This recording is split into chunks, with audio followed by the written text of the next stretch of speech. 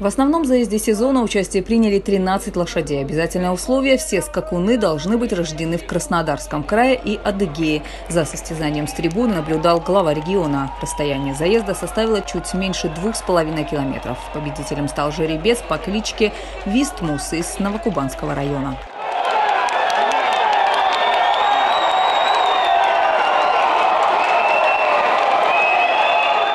Победителей на сцене поздравил губернатор. Вениамин Кондратьев вручил заслуженную награду Жакею самого быстрого скакуна и отметил, что конный спорт в регионе – это продолжение исконно кубанских традиций.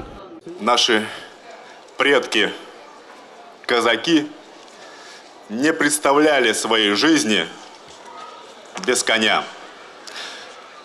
Своего надежного друга. С ним они сражались в бою.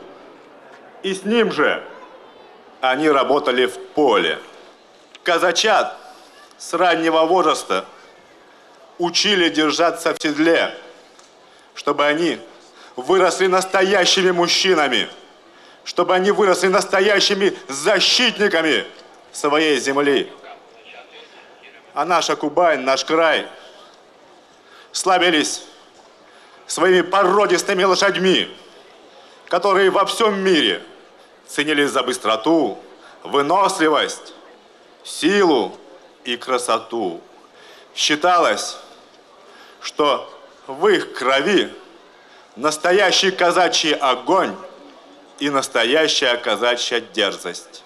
Наш край является лидером в России по развитию коневодства.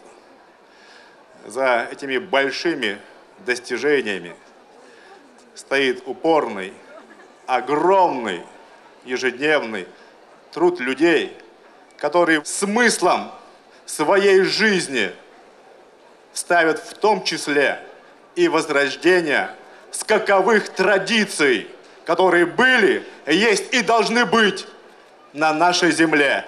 Сегодня в Краснодарском крае в хозяйствах насчитывается больше 10 тысяч лошадей. Самая распространенная порода – чистокровная верховая. Сегодня конный спорт в нашем крае стал доступным.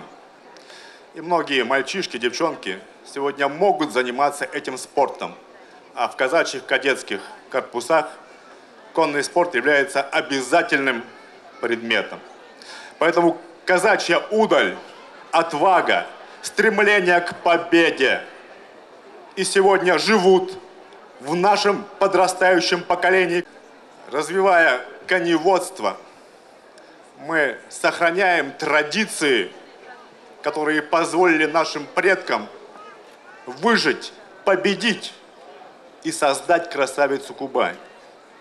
А значит, мы можем растить уже своих детей на основе настоящих ценностей.